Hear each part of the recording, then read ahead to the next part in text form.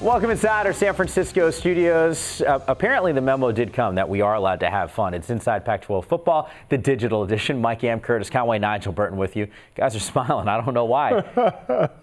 if you're a UCLA fan, that's going to bring a smile to your ears, ear to ear right now, considering the start that they have had to the season. You can make the argument they might be playing uh, better football than anyone else in the country, despite the fact that what Utah was able to do. Utes fans, of course, are now going to get upset with me. But Arizona State on the flip side, they, there's a lot of question marks surrounding this team. I want to start with the Bruins, though in your mind? I think people will point to Cal. They can talk about some other teams, SC in their offense. But do the Bruins have the most complete offense right now in the conference?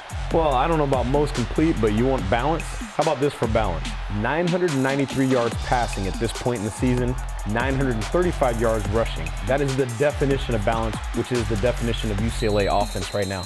It is fun to watch. You stop one side, they run the ball. You stop the run game, Josh Rosen, the Rosen one can throw all over the place. You're adding the fact that they're playing in the Rose Bowl, and there's a lot of issues right now going on in Tempe with Arizona State. See, what do you think? Yeah, there's definitely some issues going, but for me, Arizona State, are you ready to get off the mat? This thing is not over.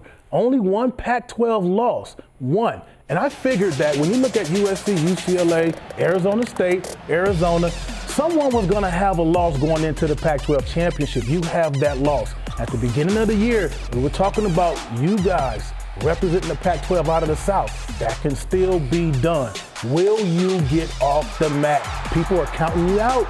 But you said you can beat UCLA. Forget the record can you go on the road and do it? Sun Devils desperate. Would you be surprised though if they are able to go on the road and take out a UCLA team that's playing great? No, I think it's going to be a tough task. I do, I, I do believe that because I look at UCLA. You hit it. They're a complete football team across the board, offensively and defensively. When you look at what they're doing, playing excellent ball. The one question mark we have for them was quarterback. That that that question mark is answered right now. All right. Once again, a great game. Arizona State and UCLA at the end of the night. It's Pac-12 final score. We will have complete coverage of this one here on the Pac 12 network. And for everything that's happening around the conference, you guys are on social media. Just follow us at Pac 12 Networks. And yes, it is plural.